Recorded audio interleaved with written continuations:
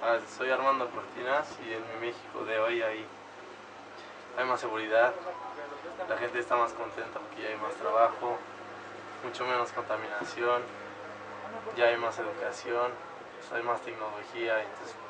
por lo tanto ya hay más, la gente está viviendo mejor, hay más calidad de vida.